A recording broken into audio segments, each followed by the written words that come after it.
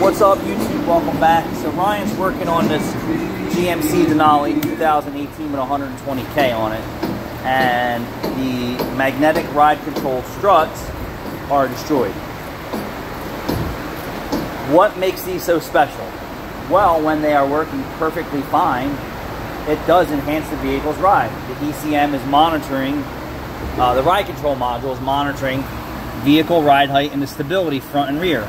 So it could say with magnetic pulses, right, pulse width modulations, is add resistance or not add resistance to the piston, which is pretty cool, right? Using mag using magnets. Um, Not just normal magnets, electromagnets. Is it electromagnet? I believe so. so, um, what's good about it, it has superior handling and ride quality. I don't really care for it. It's not for me. Just like air ride suspension, it's not for me. I'm a traditional coil spring and uh, shock or strut guy. I am definitely not a, a leaf spring or mono-leaf guy.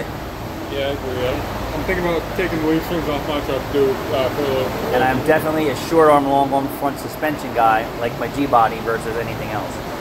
But it's very, it's a very good design, and the bad thing is it's going to cost you a lot of money to fix your suspension when there's a problem. Yeah. Just for the strut itself, or struts, or air ride in the back. Um, but when it fails, um, the vehicle is, is feeling this, right? So the ride height sensors are feeling that oscillation that you're not feeling, and the magnetic ride control is going crazy because it doesn't know what to do.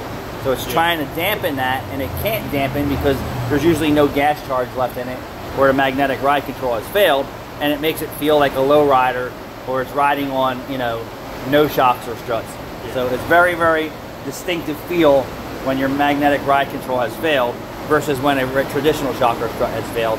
Uh, you would get that wah, wah, wah, wah, wah, wah, bounce. And then now the magnetic ride control is trying to, to, to stop that, that strut from oscillating. Um, and it's doing everything in its power to add that force to it.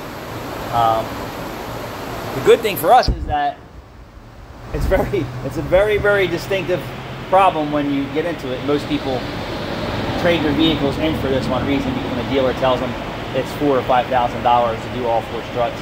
And then we're just going to give you a scenario. We didn't even finish looking at this car yet, so we're working on the struts. The front tires are shot on this car. So now you know what two tires cost on a Denali, right? How much do they cost?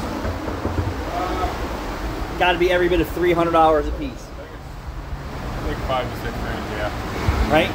So our, our simple math, magnetic ride control struts, OEMs, two grand ish. Alignment, $200 at the dealer. Two front tires, 600 bucks easy. Uh, any worn suspension components, so what's the math right there?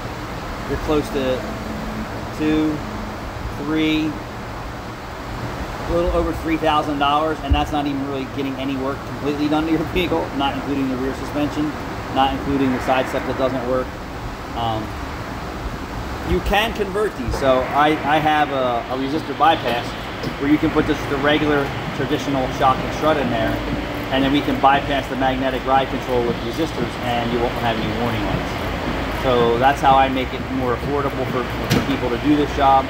Um, there are some companies out uh, in the, uh, the internet land that you can buy two of these for like 300 bucks or 400 bucks. How long do you think those are to last? I don't, yeah, anything that you get that, that that cost effective usually doesn't last very long. Um, or, you know, I had a guy supply, supply a kit, we plugged it in and the ride control sensor was failed inside of it already, so I had to bypass one side. It is what it is. Thanks for watching.